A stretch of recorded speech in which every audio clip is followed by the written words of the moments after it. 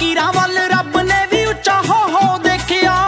ਸਾਨੂੰ ਕੀ ਸਮਝ ਪੈਣੀ ਕਿੰਨੇ ਉਹ ਅਮੀਰ ਹੋਣੇ ਜਿਨ੍ਹਾਂ ਨੇ ਸਿਰਾਂ ਦਾ ਮੱਥਾ ਟੇਕਿਆ। ਉੱਠ ਕੇ ਸਮਾਧੀਆਂ ਚੋਂ ਤੇਰੀਆਂ ਬੰਦੂਕਾਂ ਅੱਗੇ ਹਿੱਕਾਂ ਡਾਡਾ ਖੜ ਗਏ ਸਰੀਰ ਨੇ।